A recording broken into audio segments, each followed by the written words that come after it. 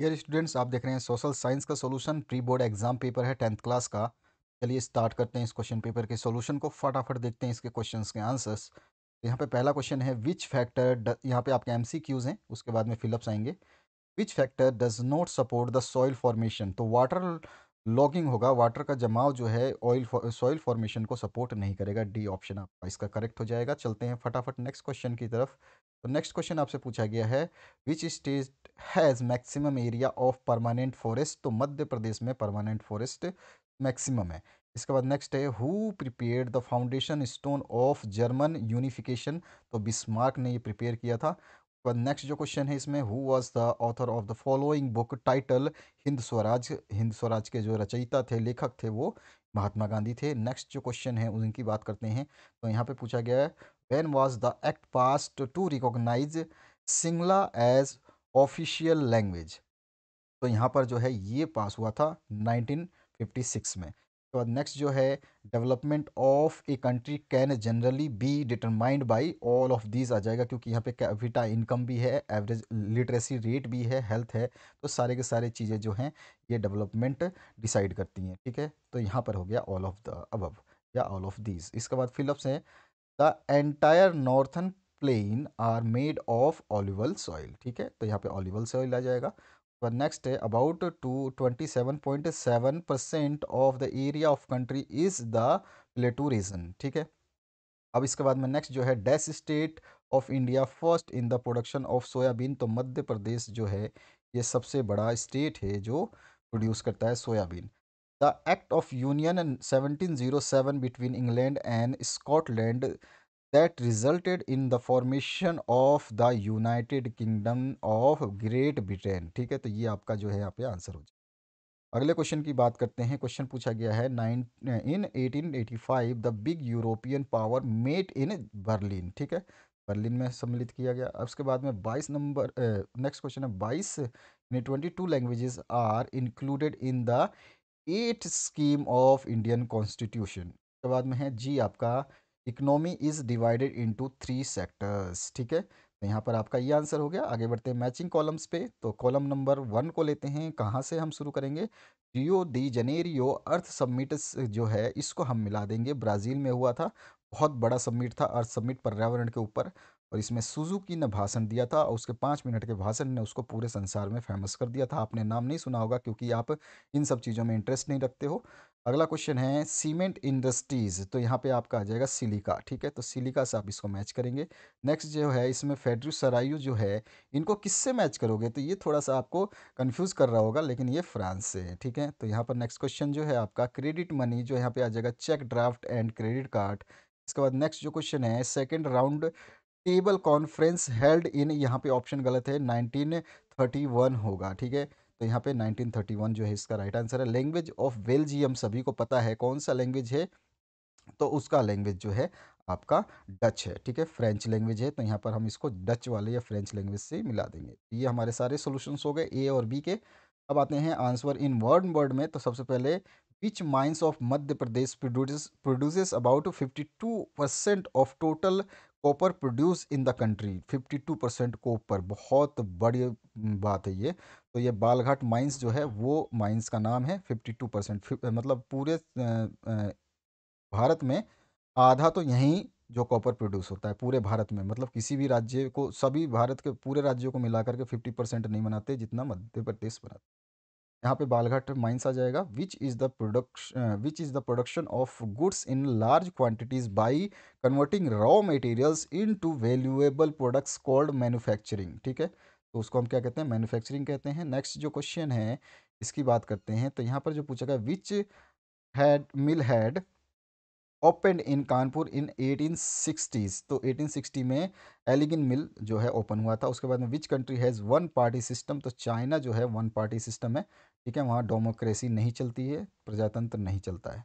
तो नेक्स्ट जो है which system ensures the decision making will be based on norms and procedures तो यहाँ पे डेमोक्रेसी बोलते हैं उसको, ठीक है? नेक्स्ट जो क्वेश्चन है आपका विच हु इशू यानी लोकतंत्र सिस्टम जो लोकतंत्र डेमोक्रेसी उसके बाद में who issue currency notes on behalf of central government तो रिज़र्व बैंक ऑफ़ इंडिया जो है करेंसी जारी करती है, ठीक है? यही बैंकों का बैंक है, सेंट्रल बैंक भी इसी को कहते हैं। अगर कुछ पूछ ले कि write the name of central bank और which is, which bank is known as central bank और, ऑफ़ इंडिया तो आपको रिज़र्व बैंक ऑफ़ इंडिया लिख देना आरबीआई।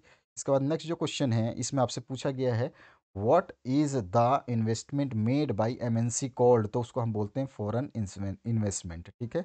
इसके बाद नेक्स्ट जो क्वेश्चन है, इसमें पूछा गया है राइट ट्रू एंड फॉल्स तो सबसे पहला the Indian railway is the largest in Asia in the terms of length तो ये बिल्कुल ट्रू है। सबसे लंबी चौड़ी हमारी रेलवे है। Railway expanded in England from eighteen forties and in the colonies from 1860 ये भी ट्रू है। और इन दोनों के जब यहाँ एक्सपांड हो रहा था तो लोहे की सबसे ज़्यादा मांग की गई थी। लोहे की मांग उस समय सबसे ज़्यादा हो गई थी, ठीक है? In the hundred years between forty fifty and fifty fifty printing presses were set up in the most countries of Europe yes बिल्कुल राइट है तो ये भी सत्य वचन है। सारे सत्य वचन है आपके। Martin Luther was one of the Protestant reformers तो ये भी सही है। और इसके बाद में certainly the law has an important role to play in the matter of reforms तो यस सुधारों के लिए कानून जो है बहुत ही इम्पोर्टेंट रोल प्ले करता है, सुधार करने हैं तो कानून होने चाहिए। इसके बाद hallmark is the certification maintained for standard standardisation of jewellery. ये भी आपको पता है कि बिल्कुल सही बात है हॉल मार्क की चीज़ें ही जो है, हमारी सही होती हैं। इसके बाद क्वेश्चन नंबर सिक्स पे आ चुके हैं। क्वेश्चन नंबर सिक्स में पूछा गया है what are the biotic and abiotic resources give example और इसके बाद में name three states having black soil and crop which is mainly grown in it तो हमने और पार्ट किया है सिक्स सिक्स क्वेश्चन का और पार्ट। महाराष्ट्र है, मध्य प्रदेश है and Chhattisgarh are the states having black soil and cotton is mainly grown in black soil ठीक है? कपास का उत्पादन होता है। सातवां जो क्वेश्चन है व्हाट आर रिजर्व्ड फॉरेस्ट तो reserve forest are the protected forest with the natural habitat that has high degree of protection from any kind of hunting और पोचिंग ठीक है?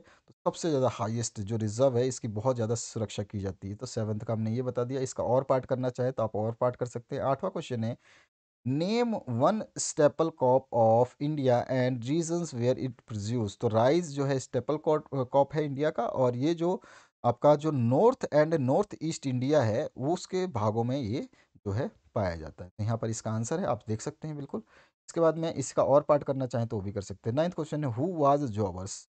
तो jobbers was those people who were employed in industries to recruit the right people among the job seekers. Very often the jobbers were and old and trusted workers ठीक है? Jobbers वो होते हैं जो हायर करते हैं एम्प्लॉयज़ को, जो नौकरी ढूंढते हैं उनको, ठीक है? तो ये आंसर हो जाएगा।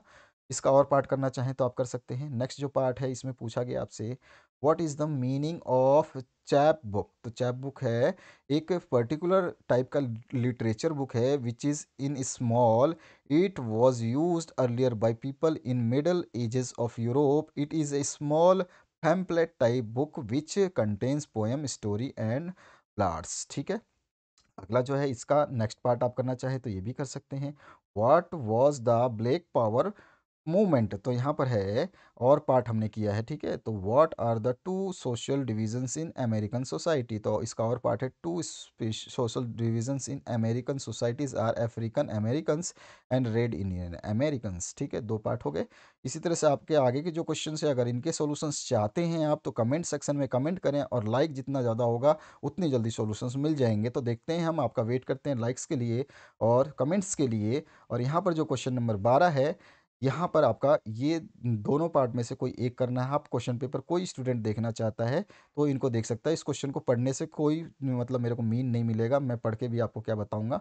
तो आप तेरह नंबर का ये पार्ट और ये पार्ट दे सकते हैं, ठीक है? फटाफट देखना है आपको, मैं आपको दिखा देता हूँ। और चौदह नंबर, पंद्रह नंबर, सोलह नंबर, सत्रह नंबर और अट्ठारह नंबर तक के क्वेश्चंस यहाँ पर एक ही स्क्रीन पे आपको दिखाई दे रहे हैं। अगर आपको स्क्रीनशॉट लेना है, एज ए प्रायोरिटी कि आपके एग्ज़ाम्स के लिए मोस्ट इंपॉर्टेंट क्वेश्चन हैं तो आप ले सकते हैं।